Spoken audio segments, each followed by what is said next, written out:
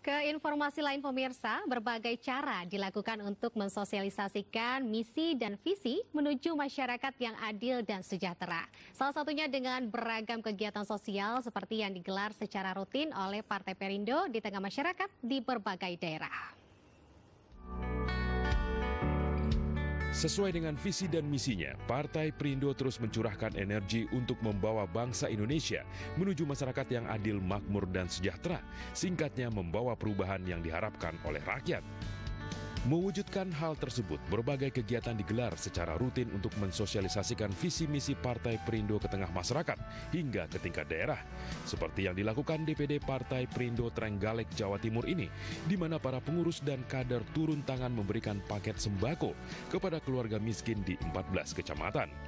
Saya berterima kasih kepada Partai Perindo yang telah peduli dan memberikan bantuan sembako.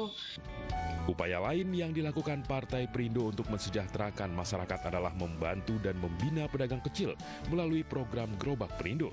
Tidak hanya memberi, Partai Perindo juga melakukan pembinaan kepada para pedagang.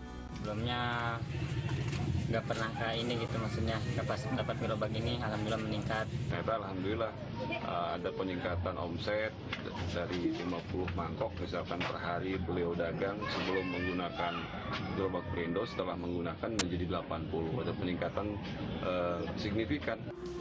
Sementara itu di Majalengka, Kartini Perindo Majalengka membagikan bunga kepada para pedagang kaki lima, khususnya kaum ibu.